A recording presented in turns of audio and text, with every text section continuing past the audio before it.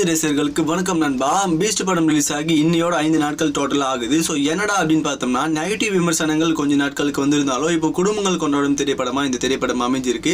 வேணும்னே வந்து இரண்டு நாட்களாக நெகட்டிவ் விமர்சனத்தை வேஸ்ட்டாக வந்து சொல்லி வந்து படத்தை வந்து இது பண்ணிட்டாங்க அப்படின்னு மாதிரி இப்போ கொடுக்குற ரிவ்யூஸ் வந்து போயிட்டு இருக்கு குடும்பங்கள் வந்து செம்மையாக இருக்குது தளபதி செம்மையாக நடிச்சிருக்காரு. செம்மையான ஒரு பிளாக் பஸ்டர் படமாக இந்த படம் வரும் அப்படின்ற மாதிரி தான் இப்போது வந்து பாசிட்டிவாக வந்து பார்த்தோம்னா ரிவ்யூஸ் எல்லாம் வந்துட்டு இருக்கு குடும்பங்கள் எல்லாருமே வந்து சந்தோஷமாக இந்த பட திரைப்படத்தை கொண்டாடிட்டு இருக்காங்க. இப்போ இரண்டு நாட்களாக ஃபேன்ஸ் எல்லாம் செம்ம செலிப்ரேட் பண்ணிட்டு இருந்தாங்க. ஸோ இப்போ இப்போ தொடர்ந்து வந்து பார்த்தோம்னா சனி மற்றும் ஞாயிற்றுக்கிழமை லீவ் வந்ததுனால ஸோ குடும்பங்கள் கொண்டாடும் திரைப்படமாக மாறி இருக்கு. ஸோ ஐந்தாம் நாளாக எவ்வளோ வசூல் இப்போ இந்த இந்த திரைப்படம் எடுத்திருக்கு அப்படின்னு பார்க்கும்போது கிட்டத்தட்ட நூற்றி ஐம்பது கோடிக்கும் மேலே போயிருக்கு. இரநூறு கோடி டிஎன்ல மட்டும் டோட்டலாக எடுக்குது அப்படின்ற மாதிரி இப்போ நியூஸ் வந்துட்டு இருக்கு பார்த்தோம்னா நானூறு கோடி நெருங்கி இருக்கு அப்படின்ற மாதிரி நியூஸ் வந்துட்டு இருக்கு ஸோ இந்த மாதிரி தளபதி பார்த்தீங்கன்னா அப்படியே தெரிஞ்சுக்க சேனலை சப்ஸ்கிரைப் பண்ணிக்கோங்க.